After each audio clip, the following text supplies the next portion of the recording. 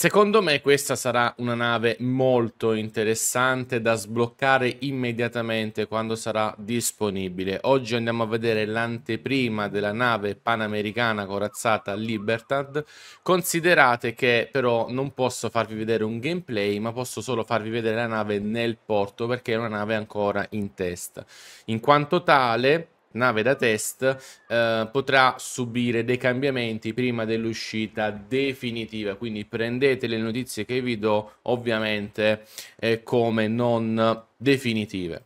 Andiamo a vedere subito le sue caratteristiche e poi andiamo a fare tutto un ragionamento che ruota intorno alla tipologia di gioco di questa corazzata. Equipaggiamento Abbiamo una resistenza di 85.500 punti con una protezione siluro, riduzione danno 31%, cannoni a sorpresa, tra virgolette, da 419 principali, ma le secondarie, udite udite, abbiamo dei 127 e dei 234, il calibro più grande all'interno del gioco per quanto riguarda le armi secondarie. Possiamo anche apprezzarle dal punto di vista proprio scenografico facendo una rapida uh, una rapida appunto un rapido zoom eccoli qua i 234 e questi sono i 127 singoli per quanto poi riguarda invece l'incursione aerea, ci torno a breve sulle secondarie perché è l'argomento principale. Incursione aerea attacchiamo fino a 11 km con un danno standard di 4900, difesa contraerea piuttosto interessante non eclatante.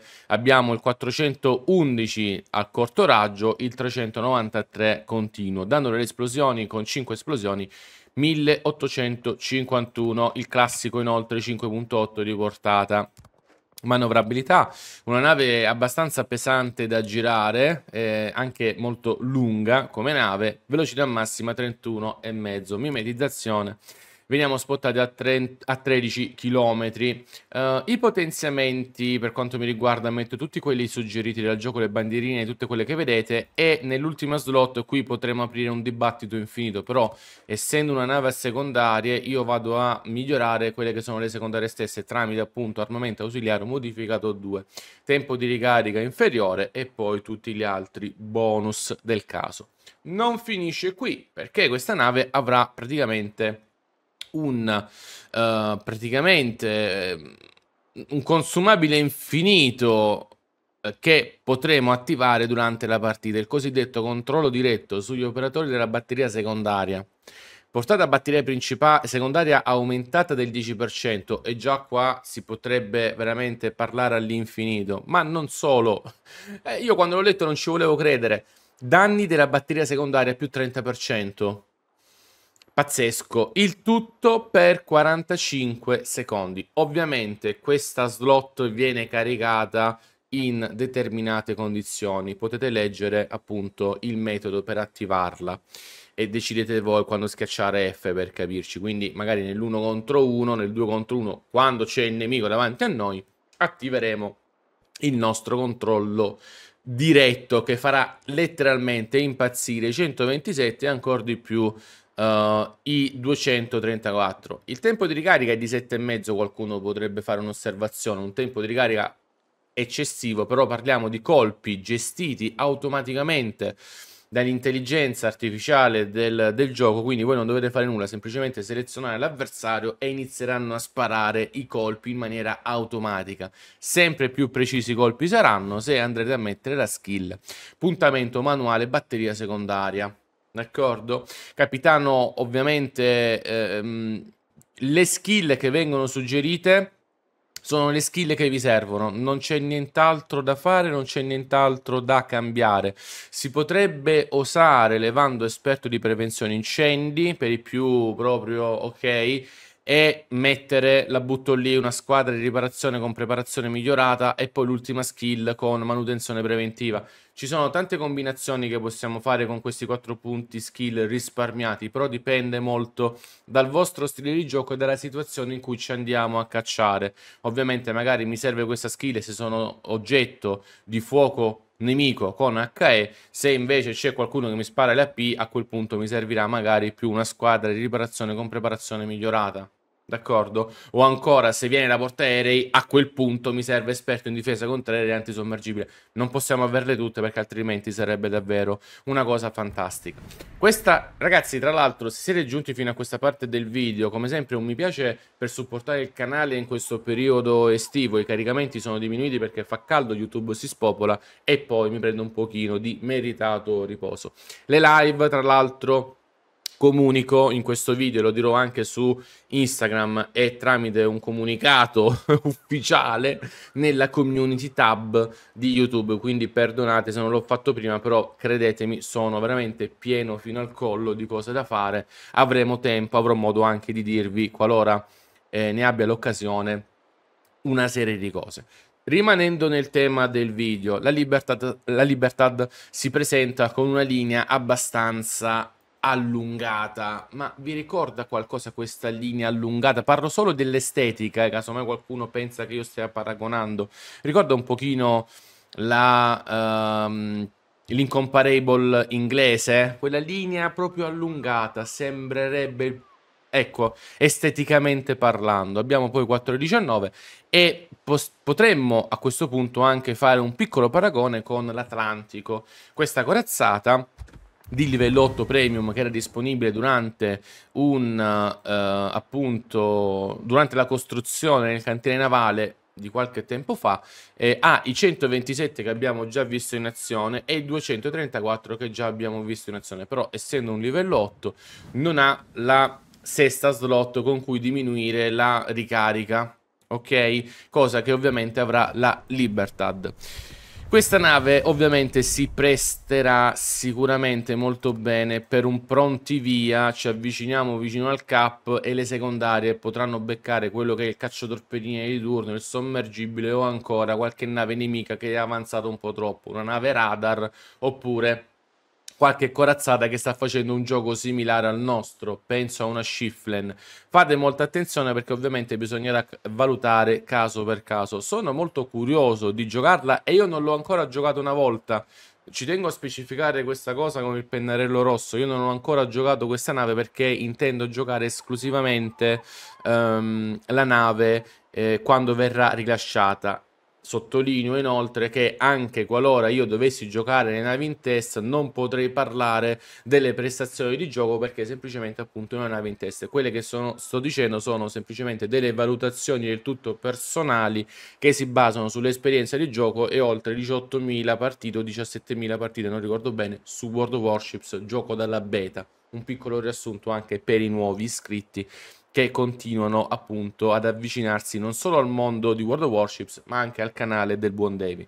Ehm, cos'altro? Quindi scontro ravvicinato, una resistenza tutto sommato che ci può stare, pensavo peggio sinceramente, protezione siluro 31% direi che è accettabile, sono anche interessanti da non sottovalutare i 419 perché comunque è un calibro molto interessante anche se la velocità dei colpi in AP lascia un pochino a desiderare. Sono dei colpi un pochino lenti per quanto riguarda ovviamente i miei eh, il mio fabbisogno di velocità perché ovviamente il tiro essendo più teso ho un calcolo diverso rispetto a se il tiro ha un pochino più arcato e con una velocità ridotta. Per i sommergibili manteniamo, come dicevo, l'11 km, quindi saremo abbastanza operativi per contrastarli, mm, nulla di eclatante. La cosa che ovviamente mi lascia anche piacevolmente sorpreso avere un'antiaerea che secondo me si farà sentire abbastanza. Sui consumabili nulla da dire, abbiamo veramente il minimo sindacale per appunto utilizzare la nostra futura Libertad, ve li faccio vedere ancora una volta. Qui si potrebbe pensare addirittura di mettere magari una squadra controllo danni modificata 1 per avere il 40% in più rispetto ai 20 secondi indicati. Um, vi faccio vedere anche il tempo di ricarica mettendo batteria principale modificata a 3 che passerebbe dagli attuali 30 secondi, scendiamo esattamente a 26.4 che non è un dato da sottovalutare, parliamo veramente di secondi importanti, però a quel punto non andremo a um, efficientare in maniera adeguata le secondarie. Secondo il mio punto di vista invece bisogna quantomeno provarci a fare un po' di partite con armamento ausiliario modificato 2.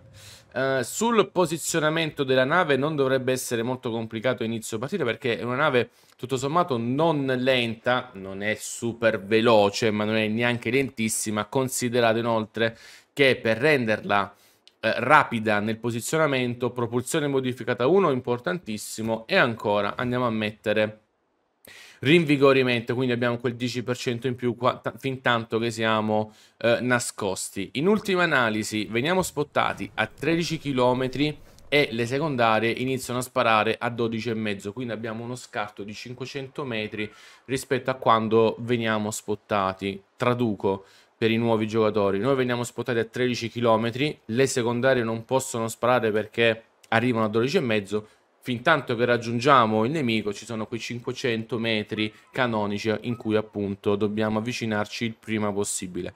Uh, il discorso ovviamente non, uh, non, fa una piega nel momento in cui abbiamo il controllo diretto uh, attivo, a quel punto avremo il 10% in più e facendo due calcoli dovremo appunto rientrare tra lo spot e l'armamento secondario.